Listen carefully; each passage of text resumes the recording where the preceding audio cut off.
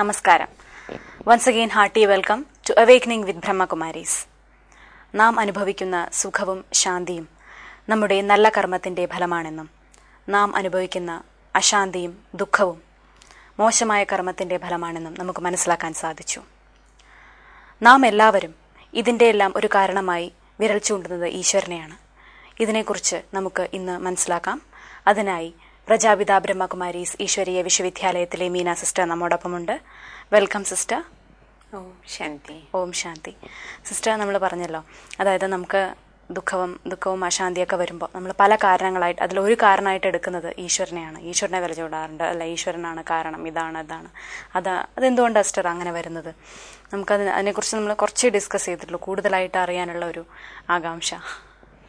അതായത് സാധാരണ ഇത് നമ്മൾ പറയില്ലേ? ഒരു മാനുഷികമായ സ്വഭാവമാണ് നമ്മുടെ സംസ്കാരമാണ്. എപ്പോഴും എല്ലാ കാര്യത്തിലും മറ്റുള്ളവരെ വിരലിച്ചുണ്ട് നമ്മളുടെ അതായത് ഏതെങ്കിലും കാര്യത്തിൽ നമുക്ക് അസഫലത ഉണ്ടാകുകയാണ് തോൽവി ഉണ്ടാകുകയാണ് നഷ്ടം ഉണ്ടാകുകയാണ് അപ്പൊ ആ നഷ്ടത്തിന് എപ്പോഴും കാരണക്കാരായിട്ട് നമ്മൾ മറ്റുള്ളവരെ വിരൽ ചൂണ്ടി കഴിയുമ്പോൾ നമുക്കൊരു സമാധാനം.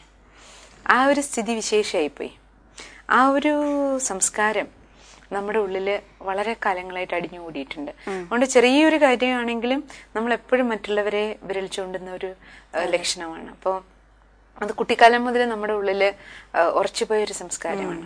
എന്തുകൊണ്ടെന്നാൽ ഇപ്പോൾ ചെറിയ കുട്ടികളായിരിക്കുമ്പോൾ നമ്മൾ കണ്ടിട്ടില്ലേ? നമ്മൾ എവിടെയെങ്കിലും കാൽ വഴുതി ഒന്ന് വീണു എന്നിരിക്കട്ടെ അപ്പോൾ ചെറിയ കുട്ടിയായിരിക്കുമ്പോൾ നമ്മൾ വീണ് കഴിയുമ്പോൾ നമ്മൾ കരയും. കരഞ്ഞു കഴിയുമ്പോൾ അമ്മ ഓടി വന്നിട്ട് നമ്മളെ എടുത്ത് നമ്മുടെ കരച്ചിൽ മാറ്റാൻ വേണ്ടിയിട്ട് നമ്മളൊരു കല്ലിലെ തട്ടി വീണെങ്കിൽ ആ കല്ലിനൊരു അടി കൊടുക്കും. അതെ അതെ അതെ. അപ്പൊ നമ്മുടെ കരച്ചിലങ്ങ് മാറും. വീണേന്റെ ആ വേദനയുടെ കരച്ചിലല്ല എനിക്ക്. അതിനേക്കാളും ഈ കല്ല് എന്നെ തള്ളിയിട്ടു എന്നുള്ളതാണ് നമ്മുടെ ഉള്ളിലെ ബോധം. അപ്പൊ അമ്മ വന്നിട്ട് കല്ലിനൊരു അടി കൊടുത്തു കഴിയുമ്പോ നമ്മുടെ കരച്ചിൽ മാറും, നമ്മുടെ വിഷമം അതായത് എന്റെ വേദനയെ ഞാൻ മറക്കുക. കാരണം കല്ലിന് അടി കിട്ടിയല്ലോ. അതിലെനിക്ക് സമാധാനം.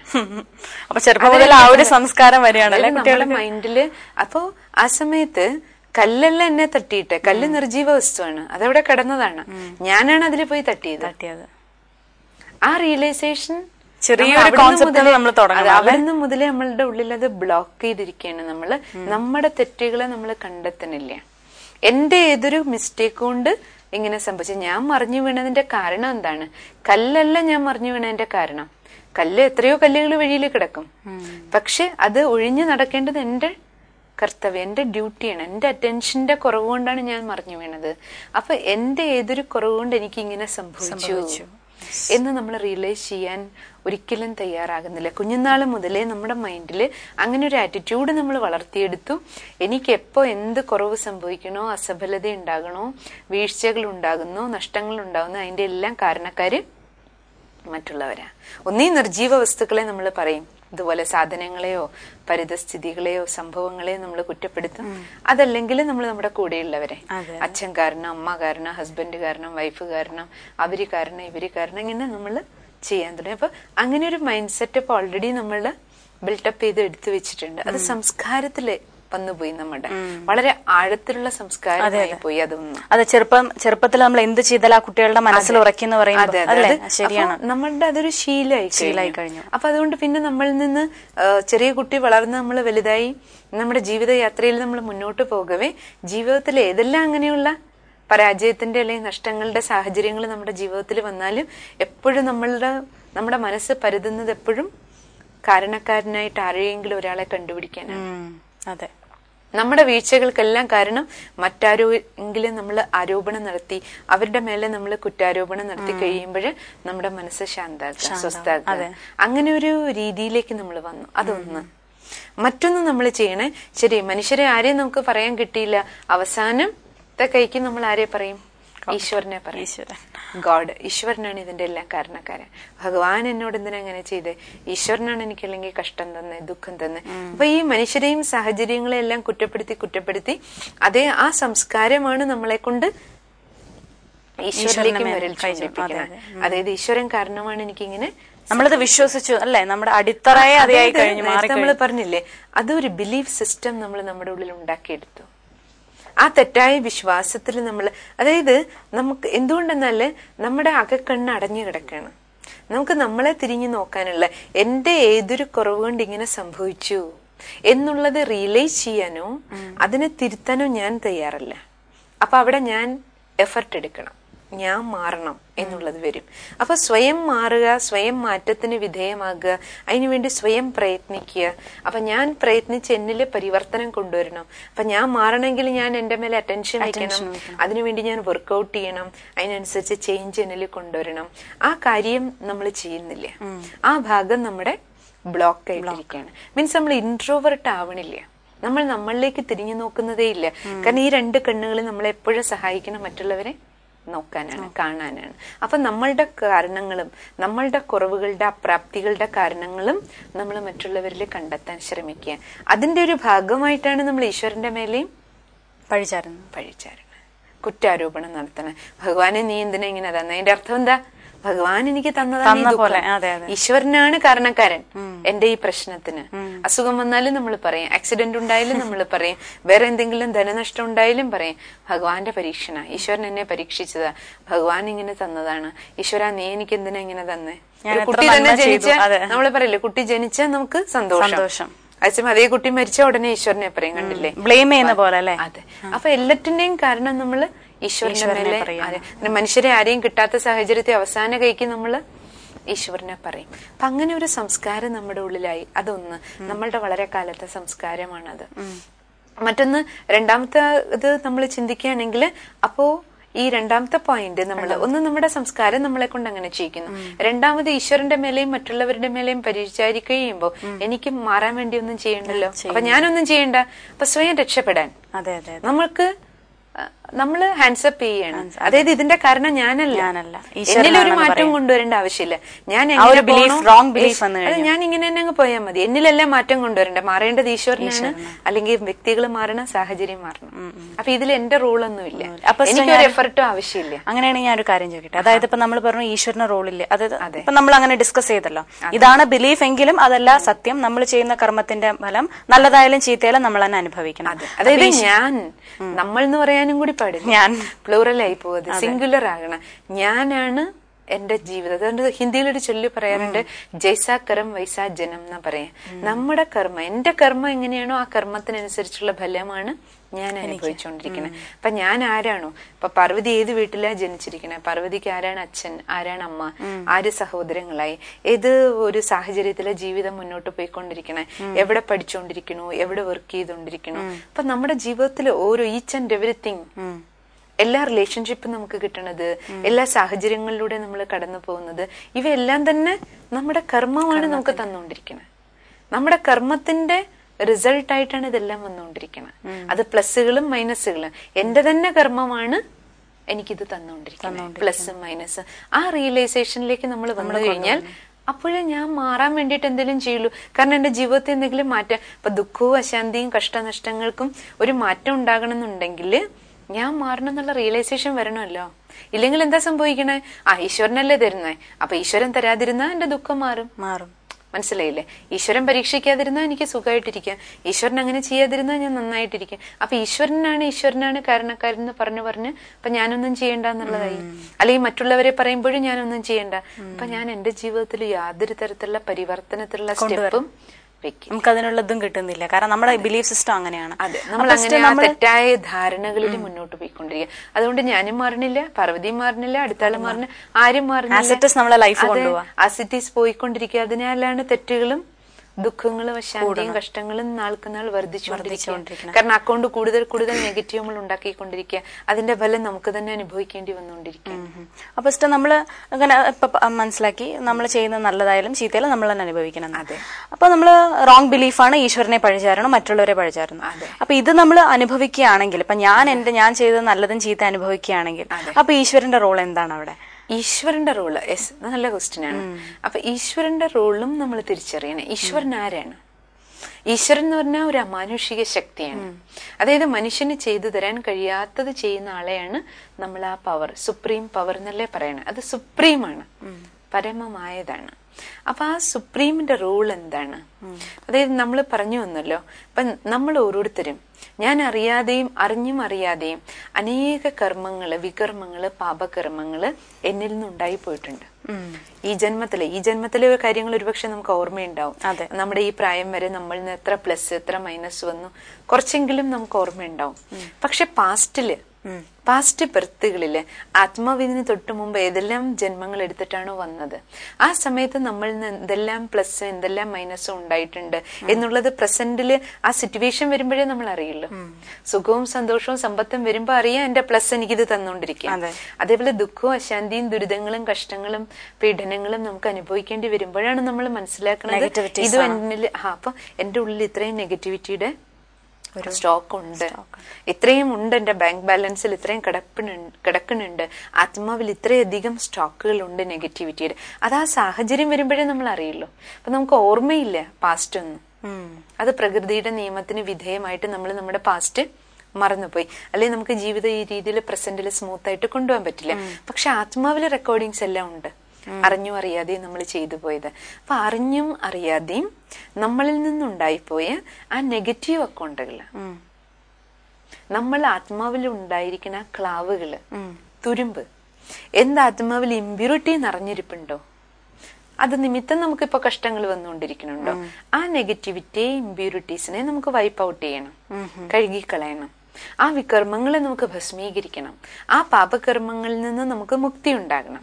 അപ്പൊ അതിനാണ് ഈശ്വരന്റെ സഹായം നമുക്ക് ആവശ്യം. അതായത് ഒന്നും കൂടി ക്ലിയർ ആക്കണം. ആ സിമ്പിൾ ആയിട്ട് നമ്മൾ ഇത് ചിന്തിച്ചാൽ മതി. ചിലപ്പോ നമ്മൾ പറയില്ലേ കണ്ണി കൊള്ളാനുള്ളത് പുരികത്തെ കൊണ്ടുപോയി. അതെ. ചില ചില കാര്യങ്ങൾ അല്ലെ ജീവിതത്തിൽ പറയില്ലേ? മല പോലെ വന്നത്. ഇതുപോലെ. പറയില്ലേ? എന്തോ വലുത് വരാനിരുന്നതാ. പക്ഷെ ഈശ്വരന്റെ സഹായം കൊണ്ട് ഇതുപോലെ അങ്ങ് ലൈറ്റ് ആയിട്ട് മാറി. അപ്പൊ അതിന്റെ മീനിങ് എന്താണ്? കണ്ണിക്കൊള്ളാൻ പാകത്തിന് എന്നിൽ നിന്ന് ഏതോ വികർമ്മങ്ങൾ ഉണ്ടായി. അപ്പൊ ഞാൻ വികർമ്മം ചെയ്തത് അങ്ങനെയുള്ള ഒരു കർമ്മമാണ് വികർമ്മമാണ്. അത്രയും തീവ്രത കാഠിന്യം അതിനുണ്ടായിരുന്നു കണ്ണിലെ കൊള്ളാം പാകത്തിന് വരേണ്ടതായിരുന്നു. പക്ഷേ എന്റെ ഈശ്വര വിചാരം കാരണം പ്രാർത്ഥന കൊണ്ട് ധ്യാനം കൊണ്ട് ഈശ്വരനെ പ്രതിയുള്ള എന്റെ ഈശ്വരനും ഞാനും തമ്മിലുള്ള ഉള്ളുകൊണ്ടുള്ള കണക്ഷൻ കാരണം ആ ഈശ്വരീയ ശക്തി ഞാൻ എടുത്തുകൊണ്ടിരിക്കുന്നത് കൊണ്ട് കണ്ണിക്കൊള്ളേണ്ടത് എനിക്ക് എനിക്ക് പുരികത്തെ കൊണ്ട് പോയി കിട്ടി. പക്ഷെ പുരികത്തിലെങ്കിലും കൊള്ളും. അതെ അതെ. അത് കൊള്ളും. കാരണം കർമ്മ എന്നിൽ നിന്ന് പോയിട്ടുണ്ടല്ലോ. നമ്മൾ പറയില്ല ആ അനുഭവിക്കാനുള്ളതൊക്കെ അനുഭവിച്ചല്ലേ തീരുള്ളൂ. പറയാറില്ലേ? എന്റെ അർത്ഥം എന്താ? കർമ്മ എന്നിൽ നിന്ന് പോയിട്ടുണ്ട്. അപ്പൊ എനിക്ക് അനുഭവിച്ചേ മതിയാകൂ. പക്ഷേ ആ അനുഭവത്തിന്റെ കാഠിന്യം കുറയ്ക്കാൻ അതിന്റെ തീക്ഷ്ണത തീവ്രത കുറയ്ക്കുക അതിനാണ് ഈശ്വര സ്മൃതി നമ്മളെ സഹായിക്കുന്നത്. ആ പെർസെന്റേജ് ആ തീവ്രതയുടെ ആ രൂക്ഷത കുറച്ച് കുറച്ച് കിട്ടാൻ മെഡിറ്റേഷൻ നമ്മളെ സഹായിക്കും. അതായത് എത്ര കൂടുതൽ നമ്മൾ ഈശ്വരനെ ഓർമ്മിക്കുന്നു. ഞാൻ ഈശ്വരനെ ഓർമ്മിക്കുന്ന സമയത്ത് അത് പോസിറ്റീവായിട്ടുള്ള എനർജിയാണ്. അപ്പൊ ആ പോസിറ്റീവ് എനർജി ഞാൻ എന്നിലേക്ക് ഞാൻ ഈശ്വരനെ ഓർമ്മിക്കുക മെഡിറ്റേറ്റ് ചെയ്യുക അർത്ഥം ഞാൻ എന്റെ സെൽഫ് അതായത് മൈൻഡിനെ പരമാത്മാവിലേക്ക് ലിങ്ക് ചെയ്യുന്ന സമയത്ത് ഈശ്വരീ ശക്തിയുടെ കറണ്ട് എന്നിലേക്ക് ഫ്ലോ ചെയ്യണം. പരമാത്മ ശക്തി എന്ന് പറയുന്ന പോസിറ്റീവ് എനർജിയാണ്. എന്റെ ഉള്ളിൽ എന്തുണ്ട്? നെഗറ്റീവ് ഇംപ്രിൻസ് അതെ അപ്പൊ ആ പോസിറ്റീവ് എനർജി എന്നിലേക്ക് നിറയുമ്പോ ആ നെഗറ്റീവ് ഇംപ്രിൻസ് കുറച്ച് മായ്ക്കും. അതെ അതെ. ന്യൂട്രലൈസ് ചെയ്യപ്പെടുന്നു. അതാണ് സംഭവിക്കുന്നത്. ആ പോസിറ്റീവ് എനർജി നമ്മളിലേക്ക് വരുമ്പോൾ നമ്മുടെ ഉള്ളിലെ നെഗറ്റിവിറ്റി പോകണം നമ്മൾ പറയില്ലേ ഒരു പാത്രത്തിൽ തന്നെ ഒരു കുടത്തിൽ കുറെ അഴുക്ക് വെള്ളം ഉണ്ട് ആ അഴുക്ക് വെള്ളം നമുക്ക് മറിച്ച് കളയാൻ പറ്റുന്നില്ല പക്ഷെ നമുക്ക് ആ അഴുക്ക് വെള്ളം കളയണം. അത് കലിയാക്കണം. അപ്പൊ അത് മറിച്ച് കളയാതെ തന്നെ നമുക്ക് ആ അഴുക്ക് വെള്ളം കലിയാക്കാനുള്ള മാർഗമാണ് ആ അഴുക്ക് വെള്ളം നിറഞ്ഞ കുടം. നമ്മൾ കൊണ്ടുപോയി ടാപ്പിന്റെ അടിയിൽ വെച്ചിട്ട് ശുദ്ധജലം തുറന്നു വിട്ടു എന്നിരിക്കട്ടെ ടാപ്പ് തുറന്ന് ശുദ്ധവെള്ളം ആ കുടത്തിൽ വീഴുന്തോറും അതിന്റെ ഉള്ളിലുള്ള അഴുക്ക് വെള്ളം ഓട്ടോമാറ്റിക്കലി പുറത്ത്. പുറത്തേക്ക് പോകാൻ തുടങ്ങും. കുറച്ച് സമയം കഴിഞ്ഞ് നമ്മൾ നോക്കുമ്പോ ആ കലത്തിൽ ആ കുടത്തിൽ അഴുക്ക് വെള്ളമേ ഉണ്ടാവില്ല. അത് മുഴുവൻ പുറത്ത് പോയിട്ടുണ്ടാവും. കാരണം ടാപ്പിൽ നിന്ന് ശുദ്ധജലം വീണുകൊണ്ടിരിക്കുക. അപ്പൊ അത് വീണു വീണു വീണു ഒരു സമയം അങ്ങനെ വരും. അതിനുള്ളിൽ ഉണ്ടായിരുന്ന അഴുക്ക് വെള്ളം മുഴുവൻ പുറത്തേക്ക് പോകണം അഴുക്ക് വെള്ളം പോകുന്നത് നമുക്ക് മനസ്സിലാക്കാൻ പറ്റും. അതിൽ പിന്നെ ശുദ്ധജലം നിറഞ്ഞിരിക്കുന്ന നമുക്ക് കാണാൻ പറ്റും. അതാണ് ഈശ്വരന്റെ സഹായം എന്ന് പറയുന്നത്. അതാണ് മെഡിറ്റേഷനിലൂടെ സംഭവിക്കുന്നത്. മെഡിറ്റേഷൻ അങ്ങനെ ഒരു പ്രോസസ്സാണ് ഈശ്വരന്റെ ഒരു ഹെൽപ്പ് അതായത് ഞാൻ എന്റെ ഉള്ളിൽ ഈ കുടത്തിൽ ഈ പാപക്കുടം നിറഞ്ഞിരിക്കുക. ആത്മാവാകുന്ന ആ കുടത്തിൽ പാപത്തിന്റെ നിറയെ സ്റ്റോക്ക് ഉണ്ട്. പക്ഷെ എനിക്കിതിനെ പുറത്ത് ഇതൊക്കെ എന്റെ ഉള്ളിൽ നിന്ന് പോട്ടെ പോട്ടെ പറഞ്ഞിട്ട് നമ്മൾ എടുത്തു കളയാൻ പറ്റില്ല. കാരണം ഇത് സൂക്ഷ്മമാണ്. ഈ അഴുക്കുകൾ ഈ നെഗറ്റീവ് ഇംപ്രിൻസ് പക്ഷേ അതിനെ കളയാൻ വേണ്ടിയിട്ട് എനിക്ക് ശുദ്ധജലത്തിന്റെ ടാപ്പ് തുറന്നു വിടാം എന്നിലേക്ക് ഏതാ ശുദ്ധജലം? പരമാത്മ പവർ ഹൗസ് അതെല്ലാ പോസിറ്റിവിറ്റിയുടെയും കൂടി പവർ ഹൗസ് ആണ് സാഗരമാണ്. അപ്പൊ ആ ടാപ്പ് ഓൺ ചെയ്യുമ്പോൾ അതായത് ഞാൻ എന്റെ മൈൻഡിനെ സർവശക്തിവാനുമായിട്ട് കണക്ട് ചെയ്യുമ്പോൾ ഞാൻ ഓർമ്മിക്കുക അർത്ഥം പരമാത്മാവിനെ ഞാൻ ഓർമ്മിക്കുക അർത്ഥം ഈശ്വരൻ നിന്നുള്ള ശാന്തിയുടെ വൈബ്രേഷൻ ആ സ്നേഹത്തിന്റെ പോസിറ്റീവ് കിരണങ്ങൾ ആ ശക്തിയുടെ കിരണങ്ങൾ അതെന്നിലേക്ക് നിറയും. നിറഞ്ഞുകൊണ്ടിരിക്കും. അതെന്നിലേക്ക് വന്ന് നിറയുമ്പോൾ എന്നിലേക്ക് ലിങ്ക് ചെയ്യപ്പെട്ടിട്ട് അത് നമ്മളിലേക്ക് ആ വൈബ്രേഷൻസ് ഫീൽ ചെയ്യുന്നതിനനുസരിച്ച് നമ്മളിലേക്ക് ഫിൽ ആകുന്നതിനനുസരിച്ച് നമ്മളിലുള്ള നെഗറ്റിവിറ്റി പോയിക്കൊണ്ടിരിക്കും. പോയിക്കൊണ്ടിരിക്കും. അതെ. ആ ക്ലീനിങ് പ്രക്രിയ നടക്കും. അപ്പൊ നമ്മുടെ വികർമ്മത്തിന്റെ കണക്ക് കുറച്ച് കുറഞ്ഞു വരും. കുറയും. ആ നെഗറ്റീവും പോസിറ്റീവും കൂടെ ന്യൂട്രലൈസ് ചെയ്യുന്ന സയൻസിന്റെ അതേ നിയമം നമ്മുടെ ജീവിതത്തിലും ആപ്ലിക്കും അതാണ് ഒന്ന് ഈശ്വരന്റെ റൂൾ അല്ല നമ്മുടെ കർമ്മത്തിൽ ഈശ്വരൻ ഇന്റർഫിയർ ചെയ്യില്ല? പക്ഷെ ഞാൻ അത് തെറ്റായി ധരിച്ചിട്ടാണ് ഞാൻ ചോ- അല്ലേ? അങ്ങനത്തെ ഒരു ബിലീഫ് സിസ്റ്റം വരുന്നത്. ഈശ്വരന് യാതൊരു റോളും ഇല്ല എല്ലാം നമ്മുടെ കർമ്മത്തിൽ കർമ്മത്തിന്റെ. ഇത് ഇത് ഈശ്വരന്റെ റോൾ ഇതാണ്. ഇവിടെ എനിക്ക് ഹെൽപ്പ് വേണം. അതൊന്ന്. അല്ലെങ്കിൽ ആ കറ അങ്ങനെ തന്നെ ഇരുന്ന. എനിക്ക് അതിനെ ഫുള്ളായിട്ട് അനുഭവിച്ച് തീർക്കേണ്ടി വരും. കണ്ണിക്കൊള്ളു തന്നെ വേണ്ടി വരും. പുരികത്തെ കൊണ്ട് പോയി കിട്ടില്ല. അവിടെ നമുക്ക് ഈശ്വരന്റെ ഹെൽപ്പ് വേണം. അതൊരു റൂൾ പരമാത്മാവിന്റെ. രണ്ടാമത്തത് ഈശ്വരനെ നമ്മൾ ഓർമ്മിക്കുന്നതിന് ആവശ്യകത എന്ന് പറഞ്ഞാൽ പരമാത്മാവിനെ ഓർമ്മിക്കുമ്പോൾ ഈ പരമാത്മാ ഈശ്വരൻ എന്ന് പറയുന്ന ഗോഡ് എന്ന് പറയുന്നത് ദ സുപ്രീം പവറാണ് പവർ ഹൗസ് ആണ്. സർവശക്തിവാനാണ് ഓൾ മൈറ്റി അതോറിറ്റിയാണ് അപ്പൊ ആ സർവശക്തിവാനെ ഓർമ്മിക്കുന്നതിന്റെ ഫലമായിട്ട് നമ്മുടെ ഉള്ളിലേക്ക് ശക്തിയുടെ കറണ്ട് ഫ്ലോ ആകും. അപ്പൊ അത് നമ്മുടെ ഇന്നർ പവറിനെ ഇൻക്രീസ് ചെയ്യിക്കും. അപ്പൊ നമ്മുടെ ഇന്നർ പവർ ഇൻക്രീസ് ആയാലേ വിൽ പവർ ഇൻക്രീസ് ആയാലേ ഇനിയൊരു വികർമ്മ എന്നിൽ നിന്ന് ഉണ്ടാകാതിരിക്കുള്ളൂ. റിയലൈസ് ചെയ്ത് കഴിഞ്ഞു കഴിഞ്ഞാൽ തെറ്റ് ചെയ്യാതിരിക്കണമെങ്കിലും ശക്തി വേണം. ഇപ്പൊ പലപ്പോഴും നമ്മൾ പല തെറ്റുകളും ചെയ്യണ അറിയാഞ്ഞിട്ടല്ല. കള്ളു കുടിക്കാൻ പാടില്ല അറിയാത്തവരാരുമില്ല. സിഗരറ്റ് വലിക്കാൻ പാടില്ല അറിയാത്തവരാരുമില്ല. കള്ളം പറയാൻ-. പാടില്ല അറിയാത്തവരാരുമില്ല. അപ്പൊ അറിഞ്ഞുകൊണ്ടാണ് നമ്മൾ തെറ്റുകൾ ചെയ്തുകൊണ്ടിരിക്കുന്നത് പക്ഷെ തെറ്റിന് നേരെ നോ പറയാനുള്ള ആന്തരികമായ ശക്തി നമുക്കില്ല വിൽ പവർ നമുക്കില്ല. അപ്പൊ ആ വിൽ പവർ നമുക്ക് ഡെവലപ്പ് ചെയ്തെടുക്കാൻ മെഡിറ്റേഷൻ നമ്മളെ സഹായിക്കും. ഈശ്വരന്റെ ഓർമ്മയിലൂടെ നമ്മുടെ ഉള്ളിൽ നിറയുന്ന ശക്തി നമ്മളെ സഹായിക്കും. അത് നമുക്ക് ആവശ്യമുണ്ട്. അത് അതിപ്പോ നമ്മൾ കർമ്മം ചെയ്തുകൊണ്ടിരിക്കുമ്പോ തന്നെ ആ ഒരു ഓർമ്മയിൽ അങ്ങനെ വരാൻ പറ്റും മനസ്സിന്റെ കണക്ഷൻ കർമ്മയോഗി ജീവിതശൈലി നമുക്ക് കൊണ്ടുവരാൻ കഴിയും. പറ്റും അല്ലേ? തീർച്ചയായിട്ടും കഴിയും. ഇപ്പൊ കുറച്ച് സമയം നമുക്ക് ഈശ്വര സ്മൃതിയിലിരിക്കാം. പ്രാക്ടീസ് ചെയ്യാം.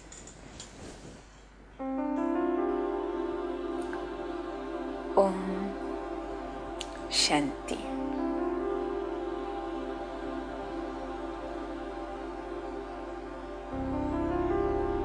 എന്റെ ജീവിതയാത്രയിൽ.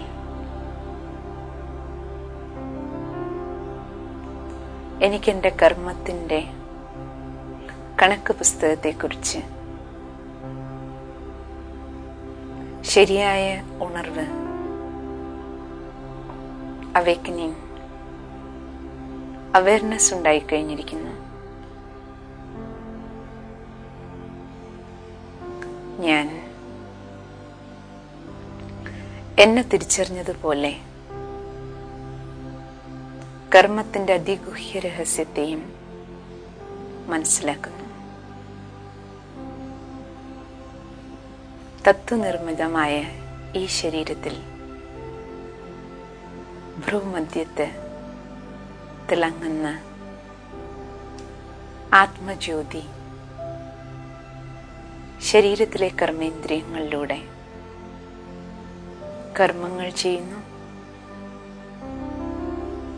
കർമ്മഫലമായ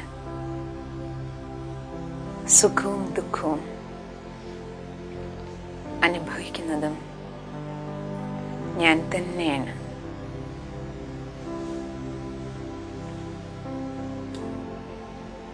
എന്റെ ഓരോ ശ്രേഷ്ഠ കർമ്മങ്ങളും സുഖവും ശാന്തിയും സന്തോഷവും സമ്പത്തും എനിക്ക് പ്രദാനം ചെയ്തുകൊണ്ടിരിക്കുന്നു.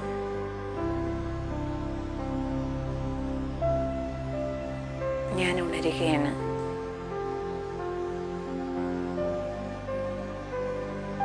എനിക്ക് എന്റെ മേൽ എന്റെ ചിന്തകളുടെ മേൽ വാക്കുകളിൽ കർമ്മത്തിൽ ശ്രദ്ധാലുവാകേണ്ടതുണ്ട്. ഞാൻ വിതയ്ക്കുന്നത് ഞാൻ തന്നെ കൊയ്തെടുക്കും. കൊയ്തെടുക്കേണ്ടി വരും. ഇന്നല്ലെങ്കിൽ നാളെ.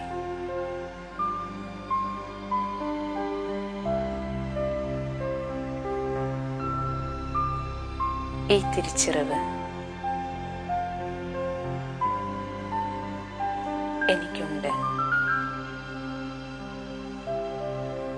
ഞാൻ എന്റെ കർമ്മക്ഷേത്രത്തിലേക്ക് കാര്യവ്യവഹാരങ്ങളിലേക്ക് യാത്രയാക്കുകയാണ്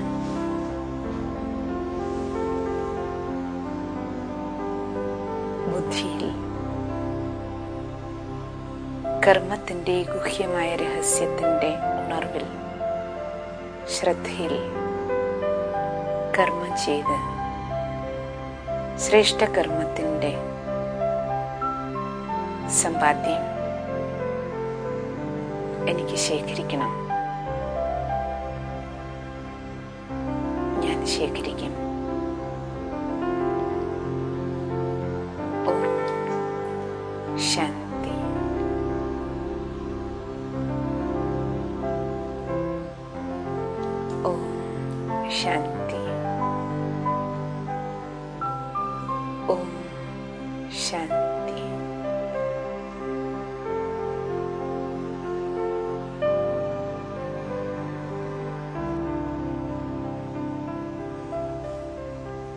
ഫസ്റ്റ് നമ്മൾ മെഡിറ്റേഷൻ ഓരോരോ എപ്പിസോഡിലും ഉൾക്കൊള്ളിക്കുമ്പോൾ ഓരോ എപ്പിസോഡും കൂടുതൽ സ്പെഷ്യലായിട്ട് വരികയാണ്. അതായത് അവേക്കനിങ്ങിന്റെ സീരീസ് കുറച്ചും കൂടി സ്പെഷ്യലായിട്ട് വരികയാണ് സിസ്റ്റർ എന്തായാലും ഇനി ഒരുപാട് കാര്യങ്ങളുണ്ട് അറിയാൻ.